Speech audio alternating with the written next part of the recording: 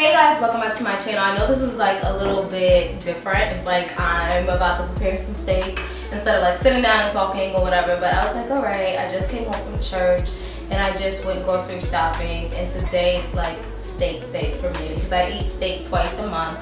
Um, I used to eat it way more than that and I limited it. So this is like my treat day, so I'm excited. So I was like, as I prepare my steak, I wanted to really talk about my words for the new year because I felt like I had two, but then yesterday I felt like the Holy Spirit spoke to me and I have three now.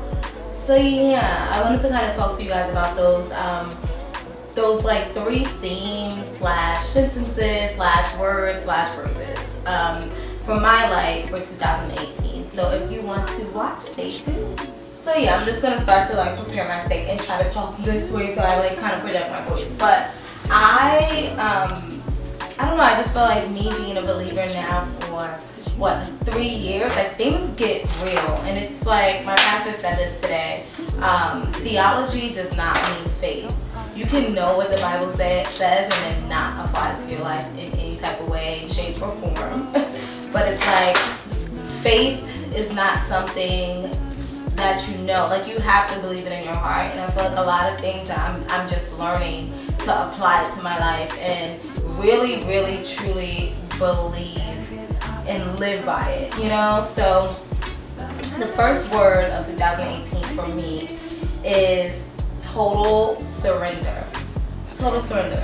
Like, it's so easy to say like, God, you're sovereign, like you are the Lord of my life, but then after that, it's kind of like, you worry.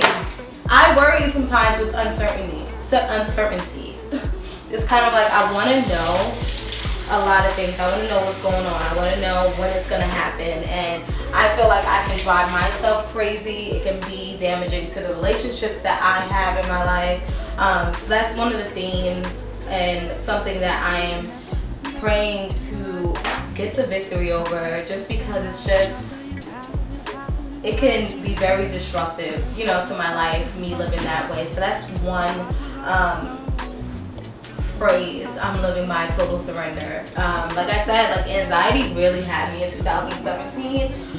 Um, it really did. And I'm like, I can't do it this year. It's too, too, too, too, too much for me. So yeah. Um,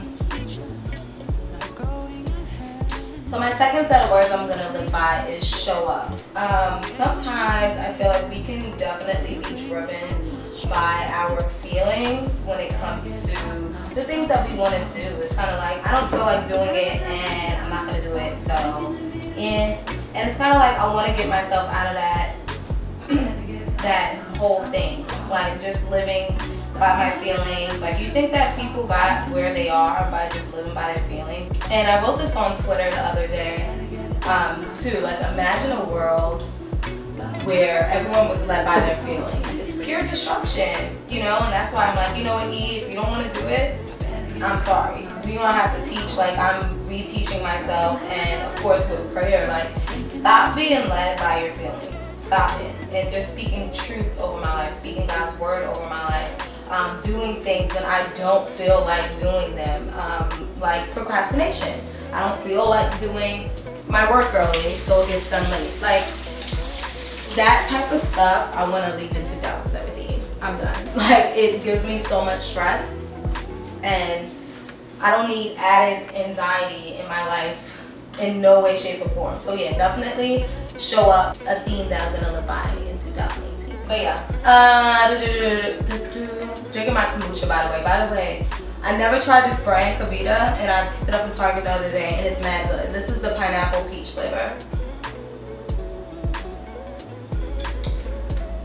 So um but yeah my last words to live by is funny because I started to do this video and I could have sworn I wrote this all down but I didn't. And I went to my journal I'm like oh my gosh what are the themes? And I felt like I've been reminding of them.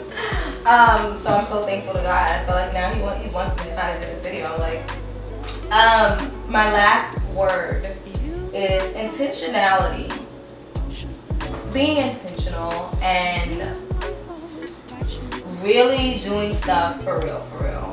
I feel like sometimes we get tired Um, and one thing I was speaking to Jose about is like being intentional and being invested. Intentional and invested, those two words. I have to write this down after this video.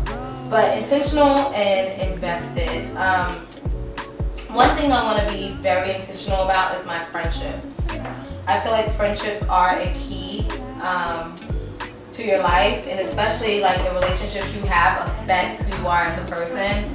And I want to make sure that I have good people around me, and I'm giving kind of like all I can give to those relationships. Um, I feel like as you get older, it's harder to meet friends and to maintain them and develop them because you guys have different seasons. You also have to respect other people's um, seasons that they are in.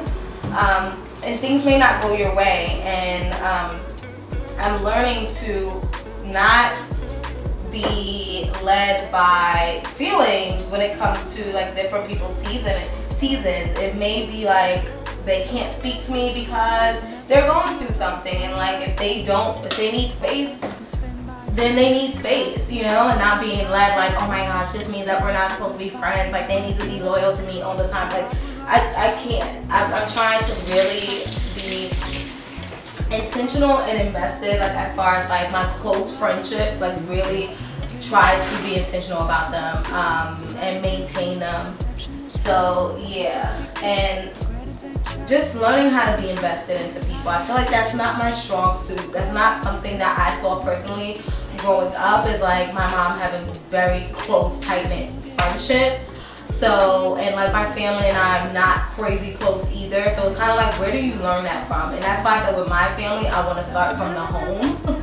just so it's easier to see and you had, you know what it takes as far as like relationship building and so on. So yeah, I'm really trying to be more intentional. Like it's very hard to learn that growing up and being older and being an adult and having things, you know, that affect your time, like a job and things that you have to do, like if you're in school like me, it's a lot. So yeah, those those three things are my theme. The first one being, like I said, total surrender. The second one being show up. And the last one being intentionality and invested. Being invested in people and being intentional about the things that you need to pursue, about your relationships. So yeah, I just wanted to share that. I was like, okay, like I want to do a video. I don't want to sit down. Like I need to prepare my steak. So this is a good way to share as I'm also trying to be productive in the kitchen. So I hope that you guys enjoyed this video. Let me know the themes or the phrases or the sentences that you guys are living by in 2018. And I'll see you in my next video. Bye.